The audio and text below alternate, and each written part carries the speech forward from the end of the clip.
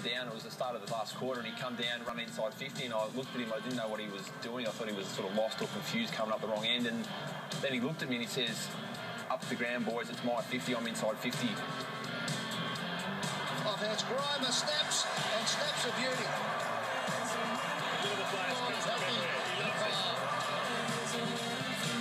I reckon the goal was a bit of a fluke myself. I can't believe Nathan's been walking around the gym likening it to, to Carey's goal. That one where he leant back on his left and put it through, he's likening it to that. He says, get around me, boys. Actually, I'll rephrase that. He says, who's the man? I'm the man. Get around me, boys. First goal in football from Nathan Grima. Can you believe it? Game number 72. He's got one and he's happy. Yeah, he was funny, really happy with it. He's been practicing his left foot snaps for years, but first time I've ever seen him use his left foot in a game and it's come off. So, yeah, he's pretty happy with himself. Have you practiced the celebration or anything? Because you just really let go when you kicked it, didn't you? All the boys give it to me because I've never kicked a goal and I celebrate them at training and um, yeah, no, I was probably over the top, but I was pretty happy. Like, there was no need for it. Um, you know, we were up by 30, 40 points then. Game was over.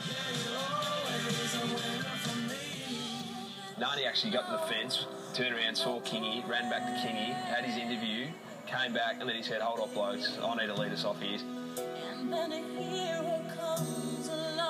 Now, I played with a lot of big names, and you know, Carey, Longmire, Rocca. Not one of them have ever, ever carried on like uh, like Nathan Grima.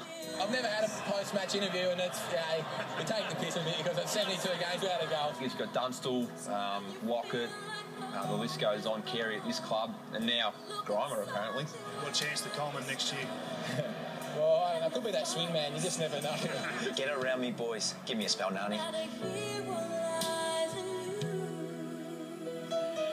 That is what you call a stitch-up job, but wasn't it fantastic? Great, the, the real joy and those terrific stories in footy. What's been a tough year for all of us in some way watching the game. They uh, really uh, warm your heart, don't they? Nathan Grima, not there today, injured, but uh, he's a goal kicker now in AFL footy.